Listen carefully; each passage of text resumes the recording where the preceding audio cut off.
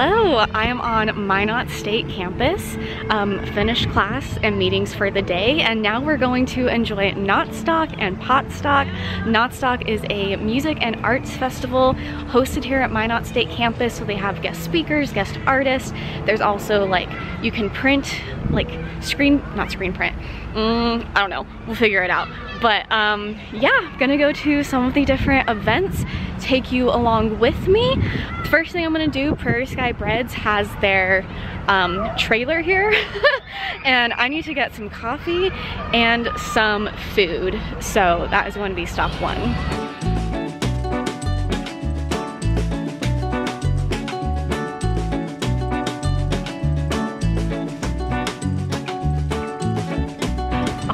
Right, food is polished off. I've got my vanilla cold brew with pumpkin spice. First time having a pumpkin spiced coffee drink. I, I'm, I'm a mint girl, I think. Um, I don't know how I feel about pumpkin spice. It's good, but it still kind of weirds me out. Anyway, at noon in Anna Nicole Nelson Hall in Old Main, they're doing an artist presentation. So I have a couple minutes. I'm gonna get a seat there and hopefully show you the artists that they're presenting. Welcome to Notstock. How are you guys all doing? Good. All right. All right. Great. So thank you for coming. Um, this year, we're really honored to have Peter Szyhalski as one of our Notstock guests. Szyhalski's wide-ranging practice encompasses a array of media and genres, including poster design, drawings, mail art, photographs, murals, prints, digital art installations, and public performances. In 1998, he established Labor Camp, an ongoing art project that celebrates the beauty, beauty and dignity of labor through visual art, graphic design, and public actions. On March 24th in 2020, he started the COVID-19 Labor Camp Report Project, and that's a series of 225 drawings, posters that you saw encompassing the outer wall of the Art Center. It's on display through October 14th, so come back and check it out again uh, if you get the chance. So Peter is printing live in the Northwest Art Center through Saturday, going to be making some large banners, posters, um, and following the presentation tomorrow, he's going to be a march around campus, uh, in which campus and community members are invited to carry a large banner, protest style. Um, please welcome Peter Szyhalski.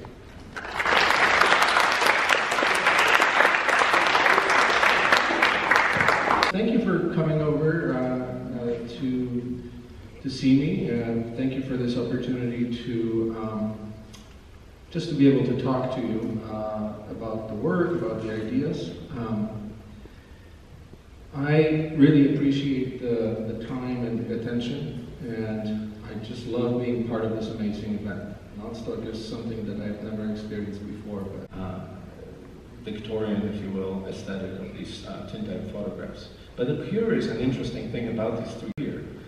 Except in that context, you're supposed to answer them. I am a criminal, this is the labor camp, and I'm here to reform through labor. There's something about the way these questions resonate very differently in different contexts that really did strike me. Then there's these plates. Last big project before the pandemic and the report consisted for me trying to um, find a way to aesthetically work myself into existing design of the plates. So the challenge and the kind of uh, um, joyful experience of beginning by understanding the aesthetic, understanding the intention of somebody who designed these plates in the first place, and engaging in what I think of as a kind of a collaborative process, a duet, if you will.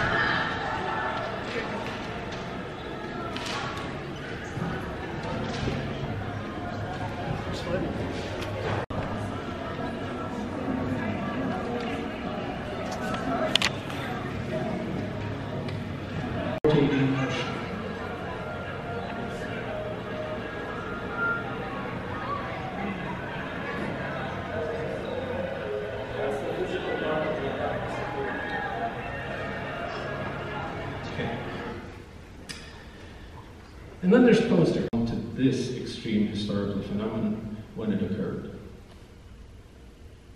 That's me in the basement, uh, making one of the very early drawings. Uh, but the first drawing that I made was really just a, a response to the fact that this incredible thing was happening and we were all various fragments of text that I ended up calling news shrapnel, because like shrapnel, bits and pieces of information would just get stuck in my head.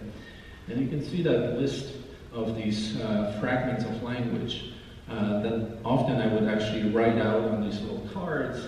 And when beginning to ideate for the new project, I would just sort of lay them out on the table and look for resonances, combinations of ideas, start sketching, um, and develop a kind of visual language that um, felt appropriate to the moment. So sometimes it was just the beginning, the beginning was the pieces of text, other times it was images. I'll talk about this a little later.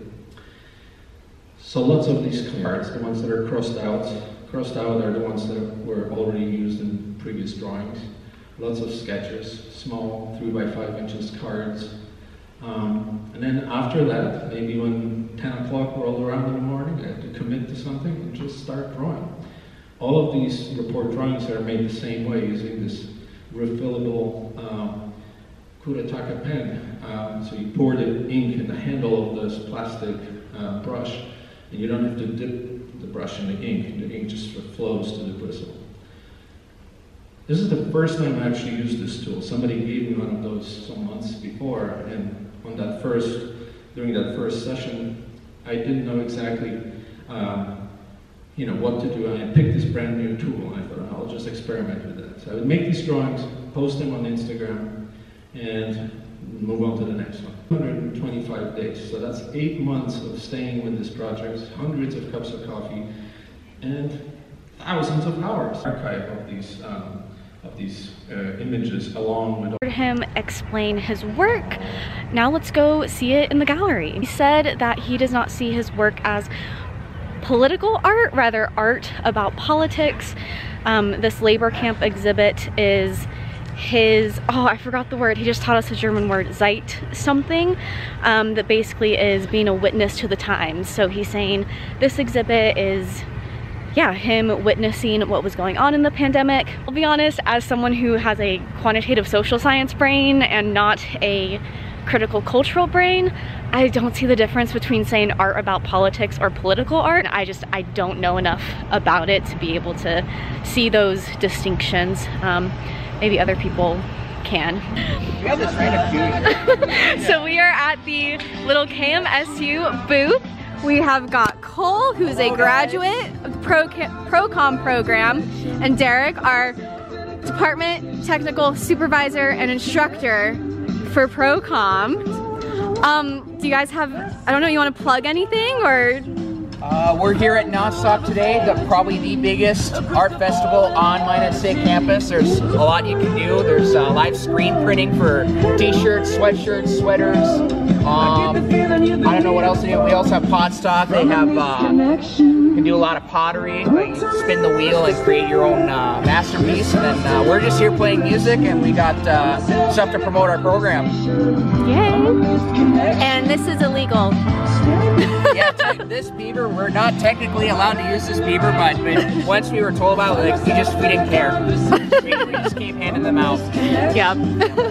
Anything you want to like plug or talk well, about? if you're considering a career in professional communication, just the fact that we have all these different programs shows there's really a variety of things you can go into. And in this day and age, there's so much communication. We're basically in a communication economy. So any kind of industry you want to work in, there is going to be a need for someone to be in communications. Sometimes people uh, look at communications degrees and they think it's like an easy thing or like a liberal arts type of thing, which it, to an extent it is, but it also is going to give you a huge variety of career opportunities in the future. So any path you want to go is going to have a need for a communications person. And just looking at some of them, we have, you know, production, journalism, public relations, PR, social media, social sports media, com. And sports I dig this one right here. and that's just like a smattering of the variety of things you can go into and specialize in. So if you want an exciting career, book communication. Awesome. Wonderful. Well, thanks, guys.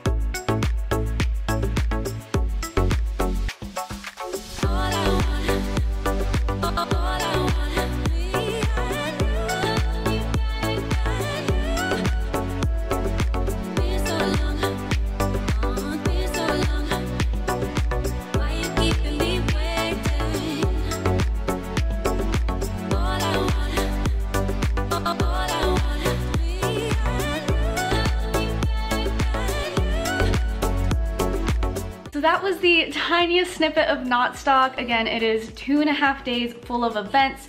I did not go to the musical performances or poetry performances. There was also a theater workshop being put on. So tons of events, definitely recommend if you're in the area to check it out next year. Let me know in the comments below what you think about pumpkin spiced coffees. Is a latte better than a cold brew? I know some people like the chai with like the pumpkin cream cold foam.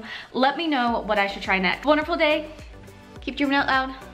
I'll see you guys next time. Bye.